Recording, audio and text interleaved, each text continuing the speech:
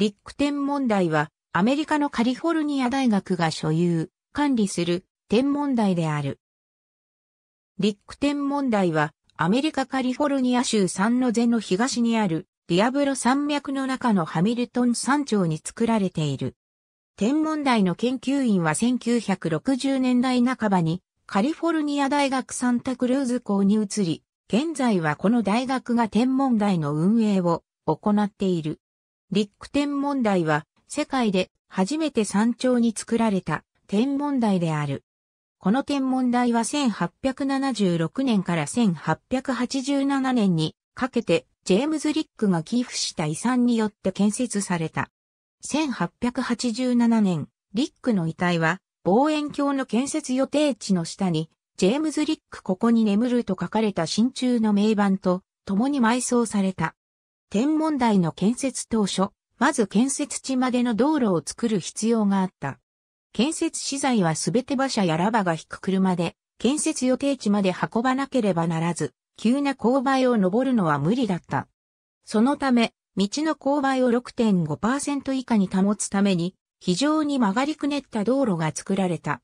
現在の道路もこのルートをたどっており、天文台に至る道には全部で365箇所のカーブがある。このため、普段は乗り物酔いをしない人にとってもこの道を通るのは厳しい。この道路はリック天文台で降雪があると閉鎖される。リック天文台の合計36インチ屈折望遠鏡は1888年1月3日のファーストライト以来、1897年にヤーキス天文台が建設されるまで世界最大の屈折望遠鏡だった。1888年4月に天文台はカリフォルニア大学評議会によって大学施設として認められ、世界初の常設の山頂天文台となった。この天文台の周辺には市街光や大気汚染がなく、素晴らしい観測環境が得られた。加えて、ハミルトン山頂の夜間の大気は非常に揺らぎが少なく、山頂部分は通常、サンフランシスコベイエリアでしばしば見られる霧が発生する高度よりも高い場所にある。そのため、山頂より低い場所で霧が発生すると、ふもとの郊外が霧によってほとんど完全に遮られる。120インチ反射望遠鏡の設置場所から見た、リック天文台本館、サンノゼやシリコンバレーの発展とともに、リック天文台では、郊外が次第に問題となった。1970年代には、モントレーの南東にあるサンタルチア山系のジュニッペロセラピーク山頂に望遠鏡の多くを移転する案が検討されたが、移転のための財源を確保することができなかった。1980年にサンノゼ市は郊外を低減する計画を開始し、すべての街灯が低圧ナトリウム灯に交換された。